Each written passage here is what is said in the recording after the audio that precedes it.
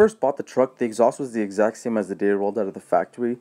But of course, with time as we all know, exhaust pipes tend to rust and they turn brown due to corrosion. And this was a really bad look on the truck because from a glance it looked like the tailpipe was that cardboard piece at the end of a tissue roll. So the first thing I did to the truck when I got it was uh, give it a wash and then I cut the exhaust pipe right after the axle before the last turn on the exit. On top of that, I put a West Coast Customs exhaust tip on it to dress it up a bit. The final product was acceptable, but not exactly what I wanted. So, fast forward to today, I plan on cutting my muffler off to paint it with black, heat-resistant paint, and adding fresh silver piping right after it.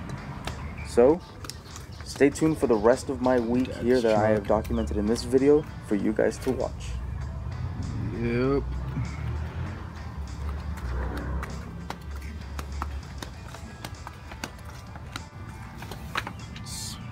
Been bothering me for a while how my pipe is like really brown.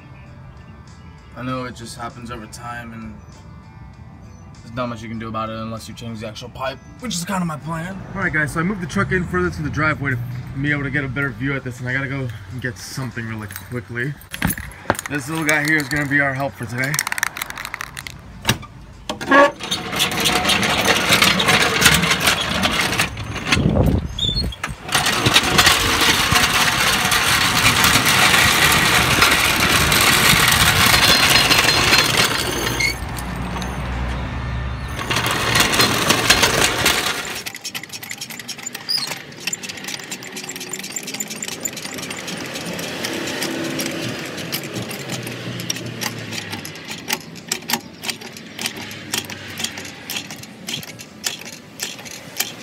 Alright guys, so here we are under the truck. You can see I've already gotten a start on the muffler here.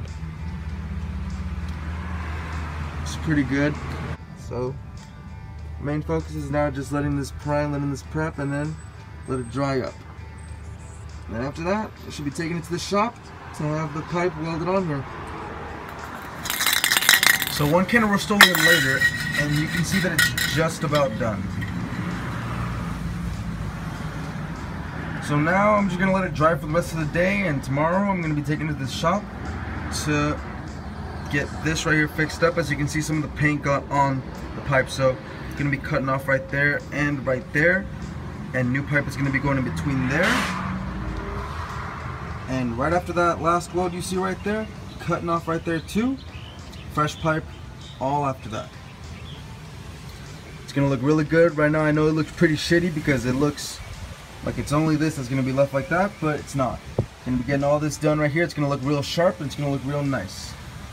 So, I'm to stop for the day, call it a day because it's getting pretty windy out here. My stuff's trying to fly around. So, wait! Can't get rid of me that easily. About to show you guys a before and after of what this used to look like. So, here you go.